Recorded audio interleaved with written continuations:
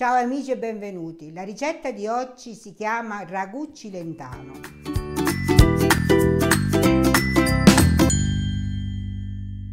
Per fare questa ricetta occorre 500 g di costolette di maiale, 3 cotiche di maiale, un capo di salsiccia di mezza stagionatura, 800 g di passato di pomodoro, 50 g di formaggio, che può essere sia caprino che, che parmigiano, uno spicchio d'aglio, un mazzettino di prezzemolo, sale e pepe quando basta e poi per fare gli involtini occorre anche un po' di spago da cucina. Iniziamo a tritare il nostro aglio.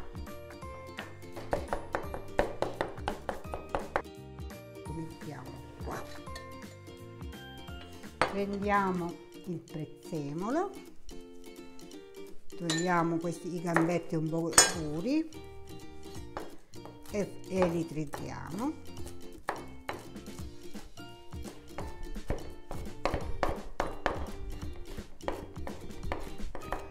questo trito serve per, me, per fare gli involtini di cotica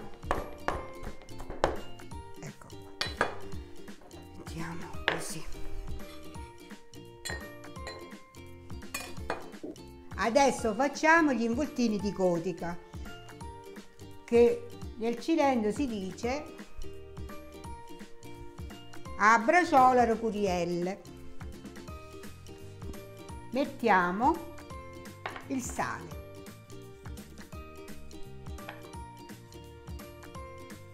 Poi mettiamo il pepe adesso mettiamo il formaggio.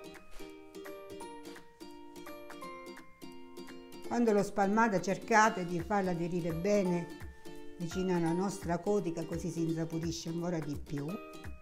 Adesso giusto un poco di aglio l'altro lo mettiamo quando lo mettiamo a soffriggere. Mettiamo il prezzemolo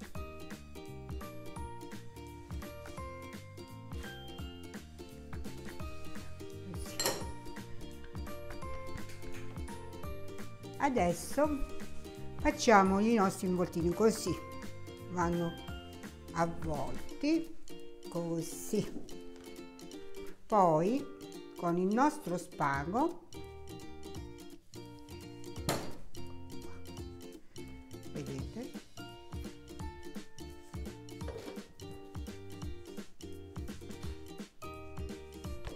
Fatto il primo giro ritorniamo un'altra volta indietro e lo leghiamo così.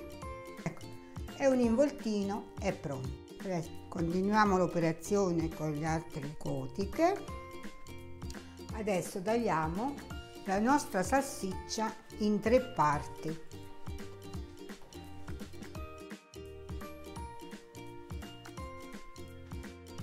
Così. Prendiamo una, una casseruola abbastanza grande capire altrimenti poi esce fuori. Accendiamo il gas. Versiamo 50 ml di olio non più di questo perché la carne già di maiale è abbastanza grassa.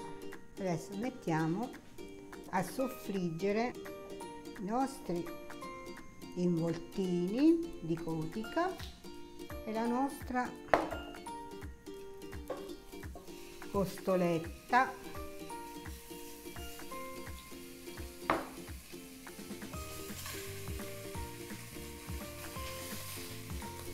Mettiamo l'aglio che abbiamo rimasto una spolverata di pepe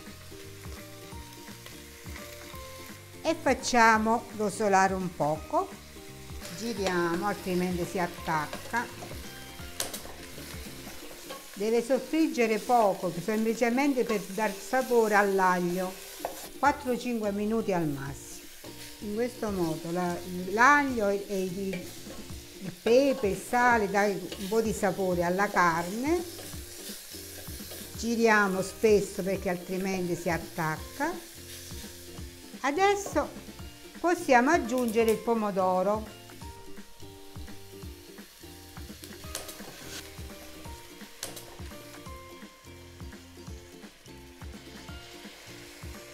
poi mettiamo la salsiccia.